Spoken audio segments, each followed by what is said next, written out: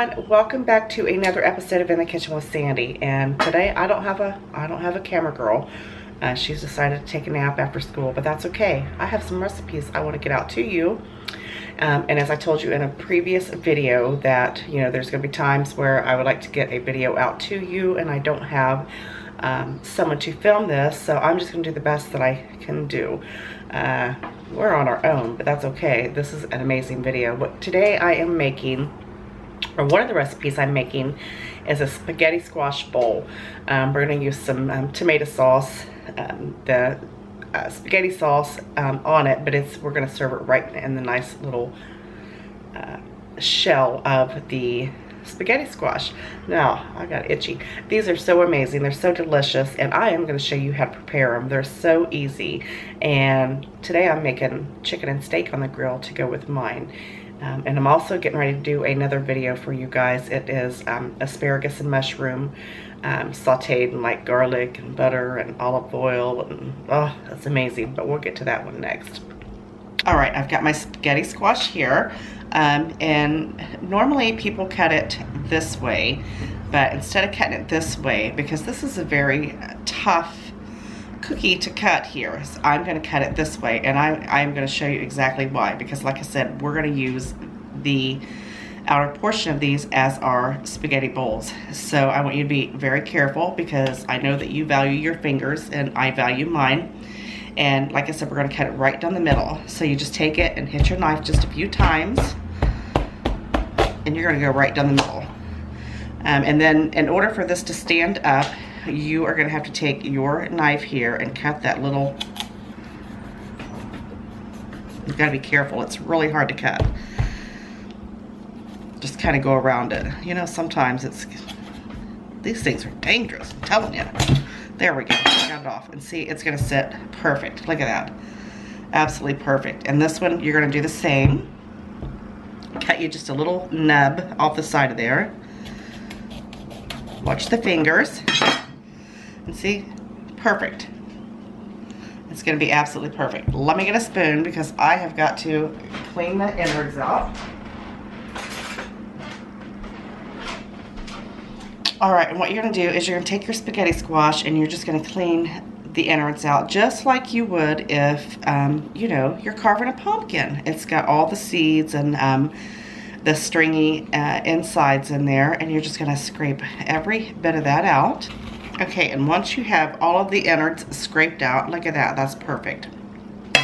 Um, what I want you to do is, oh, I, I, forgot to tell you, you need to preheat your oven um, to about 375 and these are gonna roast for a good um, 45 minutes. Um, go ahead and place them upright because we are going to go ahead and put a little bit of seasoning in them. We're going to add just a little bit of garlic salt because it's going to go ahead and start flavoring your spaghetti squash. It's going to have that flavor. Plus, it's going to smell amazing in your house. And you know, that's what it's all about. Who needs air fresheners when you can just cook all day? And then what you're going to do next is all you're going to need is some water. You're going to turn these upside down into your roasting pan. You just need like a shallow roasting pan. I like to use the ones that you get like like these from the dollar store. They're cheap and you can just throw them in the trash. Gotta move your knife over there. And as you can see, they are um, down. Don't worry, all of that garlic salt is not gonna fall to the bottom, I, pro I promise you. And then you're gonna add just enough water just to come just up over a little bit. And this is gonna kind of help steam your, oh, my table is cockeyed. Look at it. Just to steam your um, spaghetti squash. You're probably gonna need about a cup and a half. And that's it. That's it. Look at that. That's about all you're gonna need.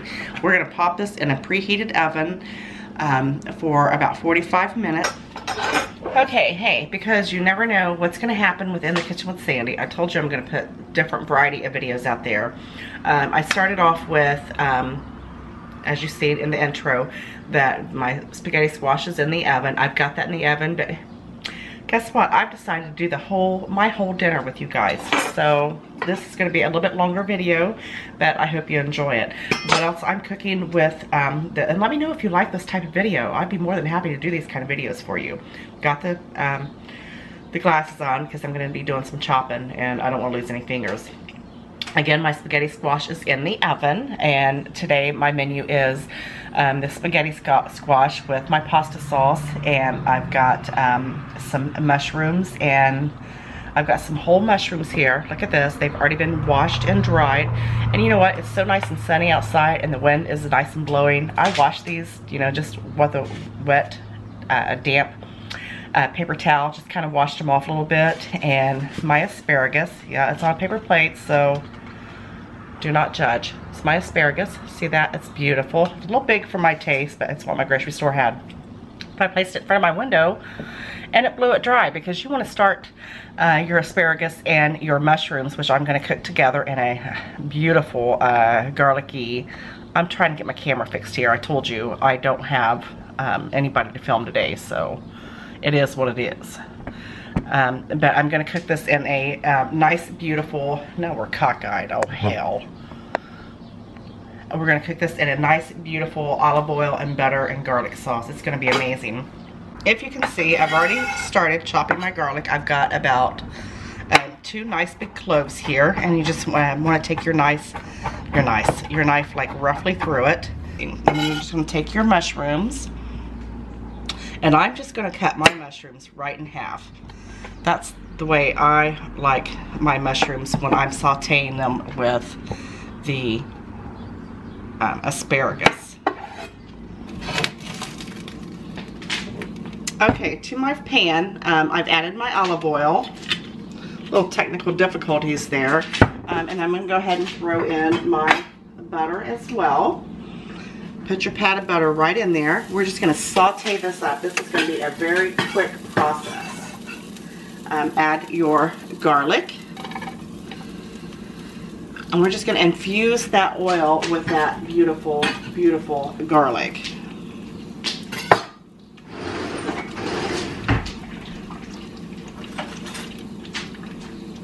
And we're going to give that a stir. Oh, got a piece of garlic wrapping in there. Um, just give that a nice stir. You want to do this on about um, medium heat. And it looks like a lot of oil and butter, but it's really not. You got about um, two tablespoons of the olive oil and uh, two tablespoons of butter because you're going to want your, this is going to create such a beautiful, um, rich flavor for your mushrooms and your um, asparagus. Now this is a fairly quick process, like I said, so we're going to go ahead and throw our mushrooms in there.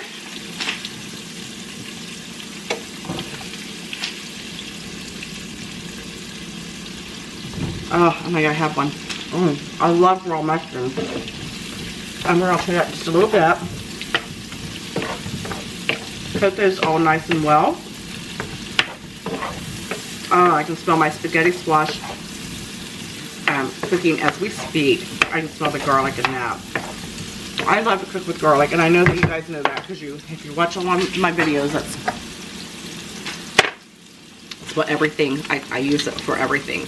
Um, and go ahead and throw your asparagus in there. Oh, this is such a beautiful, healthy, healthy dish. Now, my asparagus is a little big. It's not my choice. Um,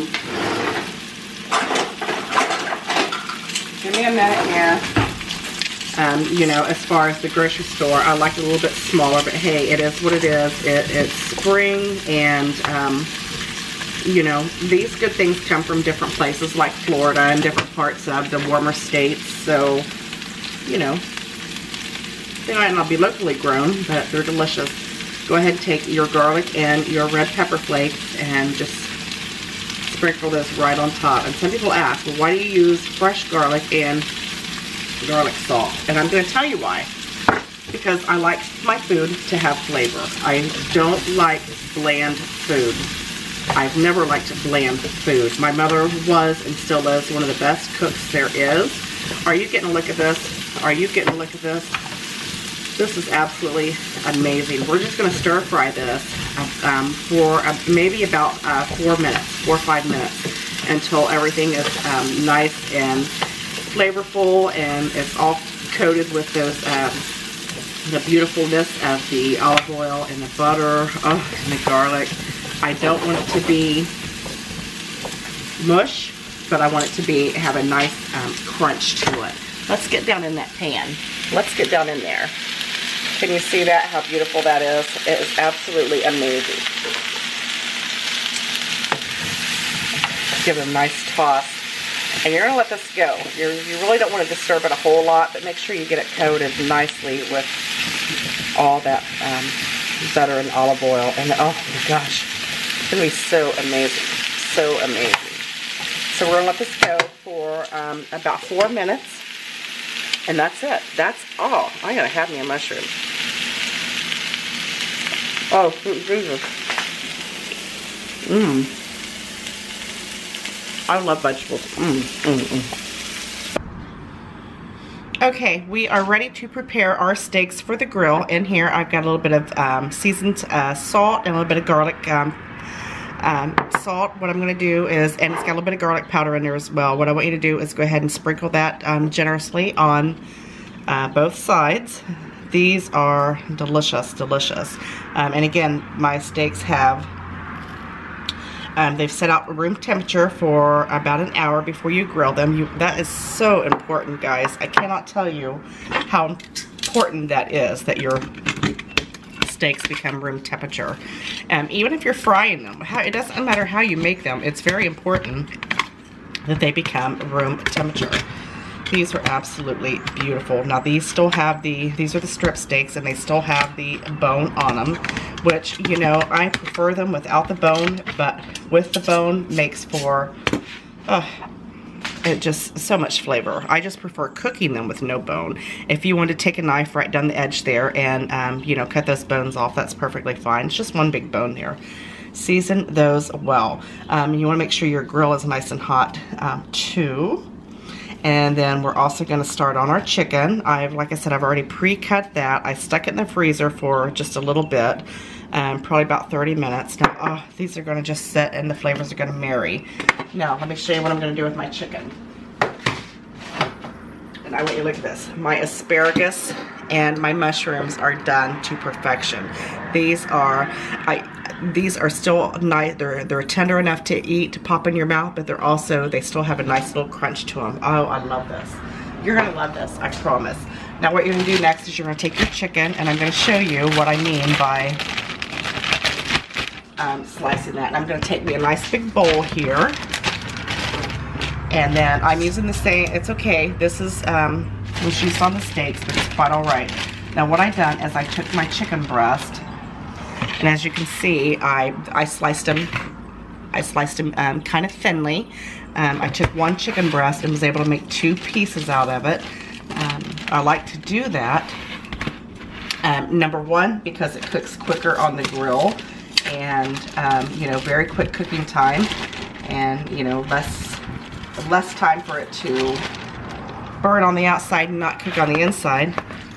Uh, and plus they make nice um, pieces there. You can take one piece of, um, three pieces of chicken and make six pieces with it. This is two packs, so I have 12 pieces of chicken, but that's okay. I'm cooking ahead today, uh, from, you know, for the week. So that's, it's just much easier to do like that. So, and if you're trying to watch your carbs, then, you know, this is a perfect idea for you. You can just go grab a piece of chicken and in the refrigerator, and oh my goodness, that's just, that's my that's my thing I like to do. I like to have stuff on hand. It makes it makes eating healthy a little bit easier, you know.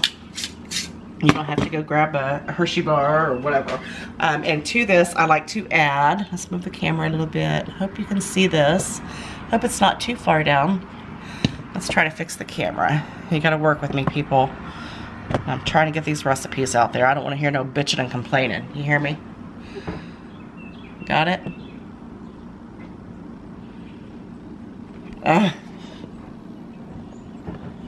There. Perfect. Now, to my chicken here, I like to add my favorite seasonings before they go out on the grill and just pour it right in there liberally. Um, this is onion powder. Like I said, liberally, because you're going to want to coat every single one of those chicken breasts. And then we're going to use some garlic powder. Oh my goodness. I gotta grab some more garlic powder.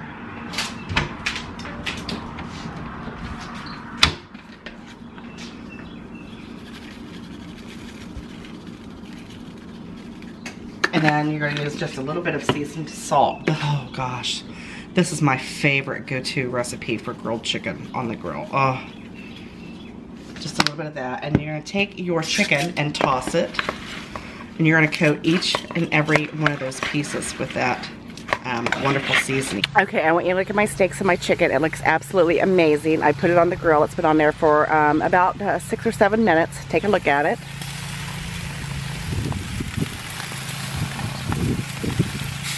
I'm gonna go ahead and flip the rest of the chicken and um, my, let me get my hair out of my mouth, my um, spaghetti sauce, my spaghetti squash is done perfectly.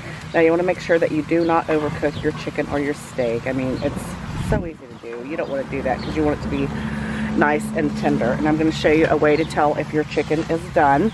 You take your um, a knife and just kind of pierce down in it. If it goes in there um, easily and does not meet resistance, then that chicken is done. And I want you to take a look at them. Look how amazing they look. Look at that. And this chicken is absolutely amazing. I'm telling you, it is so good. Let me try to get a bite of it here. Mmm. It's perfect. It's on point. All right, I'm gonna show you what to do with my spaghetti squash. Look, it's cooked perfectly done. It roasted in the oven um, with the water for um, about 45, 50 minutes. And I want you to look at that. Look, it looks just like spaghetti. And this is a great alternative for low carb um, pasta Of course it doesn't replace it and my camera's falling over. There, how about that? Now, um, just go ahead and just kind of loosen those strands up there. Look how much it looks like spaghetti. And then what I like to do is take a little bit of butter and just put it right in there and just mix it around.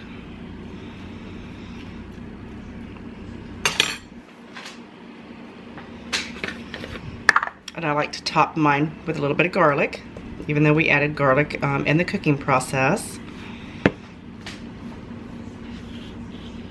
And then you're gonna add your sauce.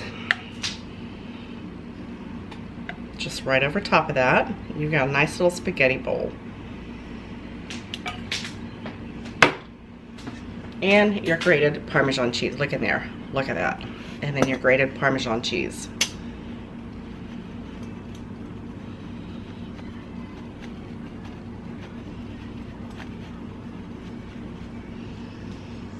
magnificent. Look at that. Look how beautiful that is. Okay, I've got my um, my little spaghetti bowl here, and I'm to take my asparagus and mushrooms.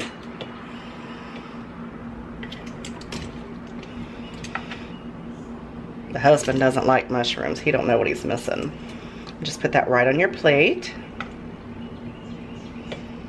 Oh, isn't that, that is just absolutely divine. And if you notice, there's not um, as much of the asparagus and mushrooms. It's because I've been snacking on it. I've been snacking on it. All right, and then we're to take a steak. Look how amazing these are. Perfect steak and some chicken. Voila. What you think about that? Now, I want you to look at this beautiful picture. Look at that. Such an easy, easy meal to prepare. It's very healthy, low carb, and your family will love it. So I hope you enjoy this video. And if you'd like to see more videos of me doing complete meals, I'd be happy to um, show them um, to you or um, do a few more videos like that. Get a, get a load of this picture again.